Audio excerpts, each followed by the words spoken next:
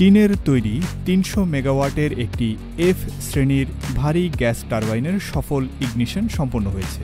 সোমবার সাংহাইতে China United Heavy Gas Turbine টেকনোলজির তৈরি এই টারবাইনটি চীনা ম্যানুফ্যাকচারিং প্রযুক্তিতে একটি মাইল ফলক যোগ করেছে।